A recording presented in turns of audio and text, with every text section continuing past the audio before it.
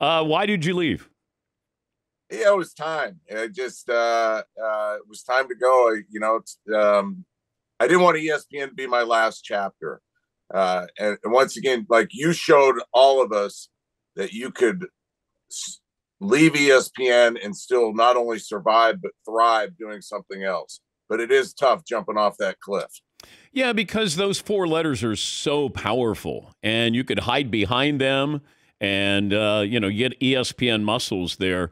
But also, I'm wondering about the the SportsCenter teams as as we move down the road with whatever SportsCenter is or what it's going to be. You and Stan Verrett were doing this together for a long, long time, and probably the last of the known anchor teams there. It is it being discouraged or or you know that they even embrace that they want to have SportsCenter teams anymore. Well, those are just those are decisions that are made in, with guys who had offices in uh, in Bristol, not guys who had cubes in Los Angeles. So, uh, I had a, we had Stan and I. You know, listen, Stan and I looked up to you and Keith, and you know we tried to emulate you in in in the ways that we could and uh and, and have a camaraderie and, and bring entertainment and uh and do the highlights the way that uh that we grew up watching them and and hopefully we succeeded in that how important was it when you first started to have a catchphrase for a highlight oh I, it just like bartender just came to me and I, you know, I, I never, nobody said, Hey, you got to have a catchphrase. What people said was, you got to be in a commercial.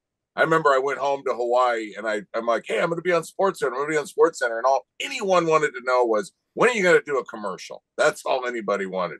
So, but the catchphrases are fun. They're part of the, they're part of the E and the entertainment and the ESPN. Yeah, I, I, and I remember when we were trying to get athletes to come to ESPN to Bristol to do those commercials, and man, was it tough because they all wanted to know were they going to get paid. And then when you said we'll make a charitable donation in your name, and then nobody wanted to come. So I said to Jason Kidd and Grant Hill, I said, "Would you do me a favor? Would you would you come to ESPN?"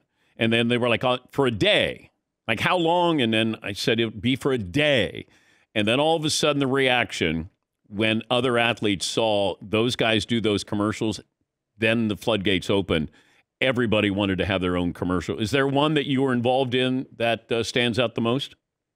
Oh yeah, it was the Roger Federer commercial. It's the first one I did. I was the only person in it. Uh, I'm, you know, Roger. If they ranked anchors, where would I be? You know, one through ten. I'm not sure you'd be in the top ten, Neil. And I was able to give him stink eye and say I'd be in the top ten. And what's really funny about that was Roger, Roger Federer wrote me after that, and he said, "Hey, I did some research. You're definitely in the top ten. Would you like to be my guest at the U.S. Open?" And I'm like, "Yeah." Oh and wow! so I wrote him back. Yeah. Never heard.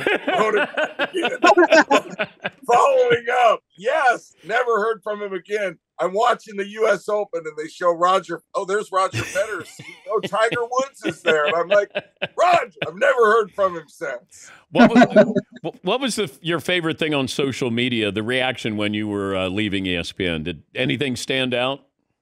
Well, I don't. I'm not on social media, but people forward some stuff to me, and uh, the one that uh, stood out the most to me, and I, I said it on is my uh, on the on the way out of L.A. was somebody wrote and said, "I've watched ESPN religiously for 20 years, and I don't even know who this guy is you're talking about." so, I think I think that remind gave me a little perspective.